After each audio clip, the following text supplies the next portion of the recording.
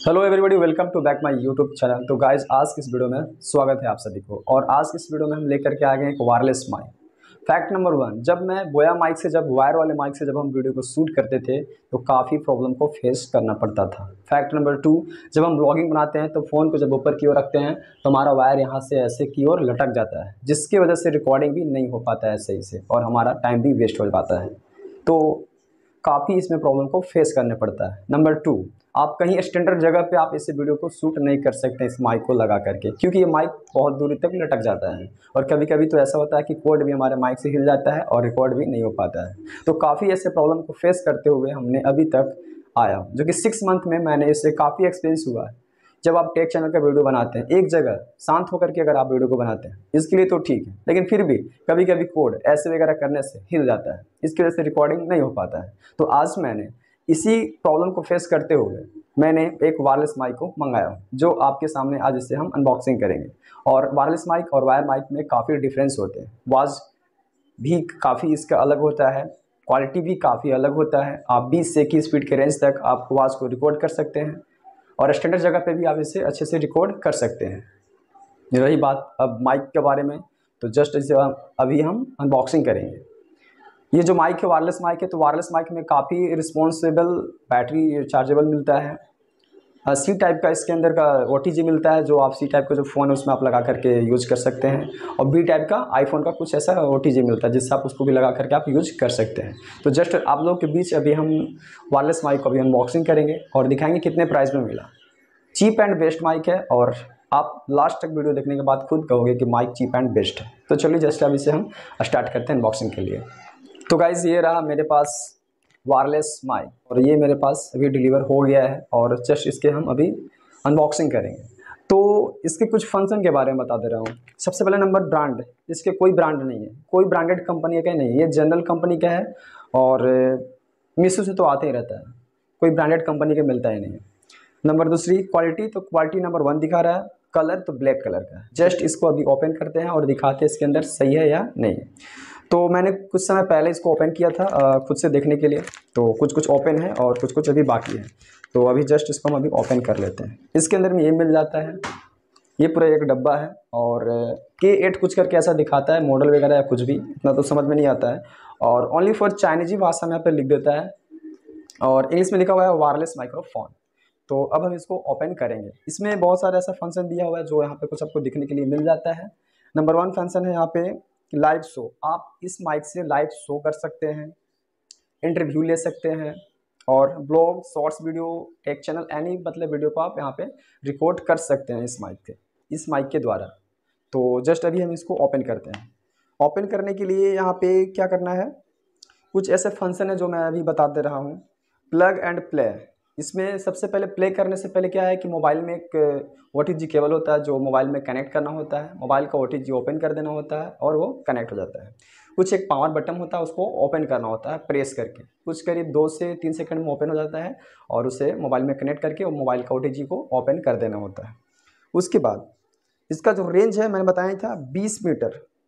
20 metre record करने की इसकी क्षमता है। 20 मीटर तक की दूरी तक ये आइडियो क्वालिटी को रिकॉर्ड कर लेता है। क्या कह रहा है कि इसके बीच में कोई संपर्क नहीं आना चाहिए, बिल्कुल क्लियर होना चाहिए।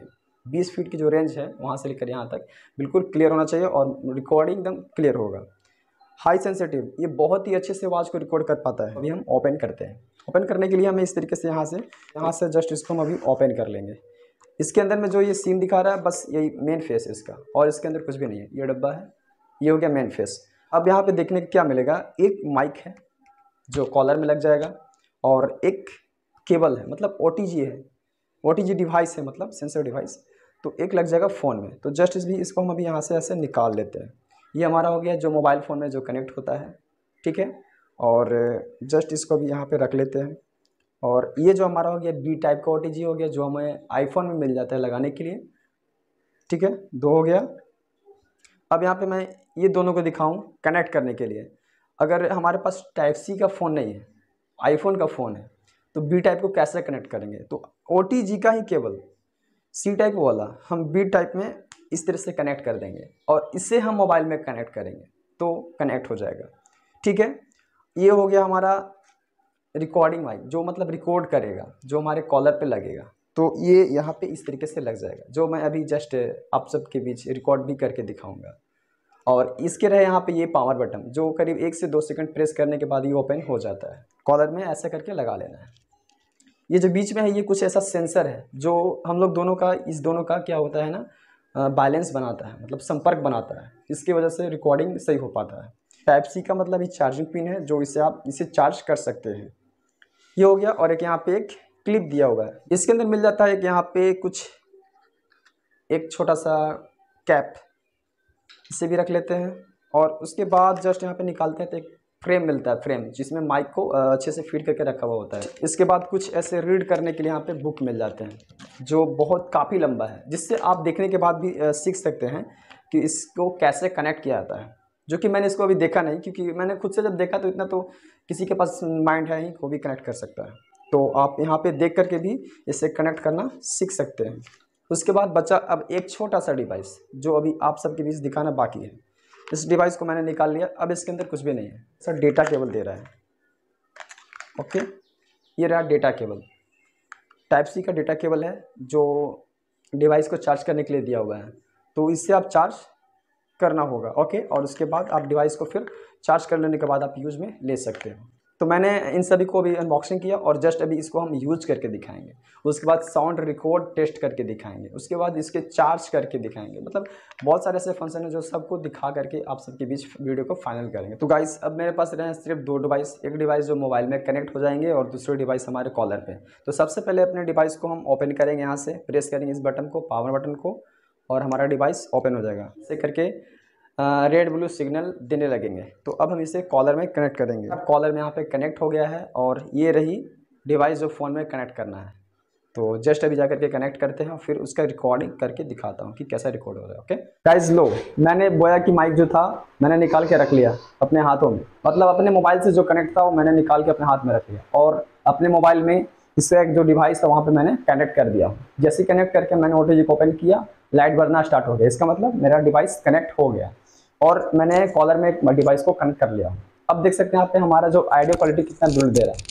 अगर इसको दूर रखते तो थोड़ा सा आइडियो जो क्वालिटी होगा थोड़ा सा वीक आएगा। लेकिन जैसे इसको नज़दीक रखेंगे आइडियो क्वालिटी बहुत ही वेस्ट आएगा। तो ज़्यादा नज़दीक इसको रखना नहीं है कॉलर में लगाना है। तो जस्ट अभी इसको हम कॉलर में लगा लेते हैं। कि अगर मैं लैग भी करके दिखा रहा हूँ, फिर भी हमारा डिस्टेंस जो अच्छा बन रहा है और काफ़ी रिकॉर्डिंग भी अच्छा हो रहा है। मतलब कोई दिक्कत नहीं है इसमें। तो अब से ऐसा लग रहा है कि हमें वायरलेस माइक से रिकॉर्डिंग करना बेटर रहेगा, क्योंकि ये तो वायर को हाथ में लेने पड़ता है, फिर उसको डालो, अंदर से निकालो। तो काफ़ी ऐसे प्रॉब्लम को फेस करने पड़ता है। तो अब प्रॉब्लम को फेस नहीं करने पड़ा क्योंकि मेरे पास अब वायरलेस माइक आ गए मैंने इसको अनबॉक्सिंग करके आप लोगों को दिखाया, इसके फीचर्स के बारे में दिखाया। अब इसको हम अभी चार्जिंग करके दिखाएँगे कि कैसे ये चार्जिंग होता है, कैसे कनेक्ट होता है फुल होता है तो कैसा दिखाता है। पूरे हम इस डिटेल को दिखाने वाले हैं अभी इस वीडियो में। तो अब बने रहिएगा मेरे इस वीडियो में। और अभी तक हमारे चैनल पर नया हो तो चैनल को सब्सक्राइब कर देना, मेरे वीडियो को लाइक कर देना। और उससे भी ज़्यादा अगर आपको हमारा वीडियो अगर अच्छा लगे तो शेयर कर देना। थैंक यू तो गाइज़ मेरे पास चार्ज में लगाने के लिए क्या करना पड़ेगा? एक चार्जर को अडेप्टर लेना पड़ेगा। तो मैंने अपने घर के चार्जर को अडेप्टर को ले लिया और यहाँ से एक डेटा केबल को निकाल लेना है। यहाँ से ऐसे कनेक्ट कर देना है। अब मेन सप्लाई में से कनेक्ट करना ओके अडेप्टर और इसको हम अभी मेन सप्लाई में कनेक्ट करेंगे और यहाँ से प्लग ओपन कर देंगे। हमारा लाइट आ गया है और इससे अब हम चार्जिंग करेंगे। टाइप से जो है, इसमें दो तरीके का दिया होगा। तो जो इस तरह का जो फेस दिखता है, ये सही फेस होता है। और आपको यहाँ पे ऐसे कनेक्ट करना होता है। अब देखते हैं कनेक्ट करने के बाद ये बंद रहता है तो चालू नहीं रहता है। One two three guys charge में डिवाइस को लगाने के बाद ना बंद हो गया डिवाइस ओनली फॉर चार्जिंग हो रहा है डिवाइस वर्क नहीं कर रहा है। तो इसकी वजह से ये वर्क नहीं करेगी। मैंने अभी चार्ज करने के लिए भी दिखा दिया आप लोग को तो काफ़ी अच्छे से चार्ज भी हो गया। और गाइस मैं आप लोग के लिए एक चीज़ और दिखा देता हूँ। जो माइक का जो यहाँ पे जो कॉटन जो दिख रहा है ना अब इसको भी निकाल के दिखाता हूँ कि इसको निकालने के बाद नॉइज़ वॉइस आ रहा है या नहीं आ रहा क्योंकि आप लोग के बीच नहीं दिखाऊँगा तो फिर किसके बीच में दिखाऊँगा? वैसे भी आप लोग ज़्यादा से ज़्यादा सवाल इसलिए करते हो कि नॉइज़ वॉइस आ रहा है या नहीं। बेस्ट माइक को खरीदने का मतलब यही होता है कि नॉइज़ वॉइस नहीं आना चाहिए ओनली रिकॉर्डिंग आना चाहिए। तो जस्ट अभी इसको हम भी निकालने वाले हैं। निकालने के लिए क्या करना होगा? सीधा ये कॉटन को पकड़ना है और यहाँ से ऐसे खींच देना है। अब इसके अंदर कुछ भी नहीं है, बस इस तरीके से। आप देख सकते हैं नॉइज़ वॉइस आ रहा है, नहीं आ रहा, आप लोग बताइएगा। अब इसको हम कनेक्ट करके वॉइस को रिकॉर्ड करते हैं। मैंने कॉटन को लगा दिया। अब आप देख सकते हैं आवाज़ कैसा आ रहा है। इस तरीके से कॉलर पर फिट कर लेता होता जिसकी मैंने कि आज की इस वीडियो में पूरा डिटेल में बता दिया कि कैसे कनेक्ट करना है, कैसे अनबॉक्सिंग करना है, कैसे इसको चार्जिंग में लगाना है। पूरी डिटेल में इसलिए मैंने बताया, ताकि आप लोग की कोई दिक्कत ना हो। अगर कभी भी अगर आप अगर वायरलेस माइक को अगर परचेस करते हैं, अगर खरीदते हैं तो कभी भी दिक्कत ना हो। इसीलिए मैंने इस वीडियो में डिटेल में बताया और ताकि इसलिए कि मेरे वीडियो आप लोग को पसंद है और आप लोग को मेरे वीडियो अगर पसंद आए तो ज़्यादा से ज़्यादा शेयर करना सब्सक्राइब करना चैनल को वीडियो को लाइक कर देना। और आज की वीडियो बस यही तक और नेक्स्ट वीडियो में मिलते हैं कुछ और बॉक्सिंग के साथ। Thank you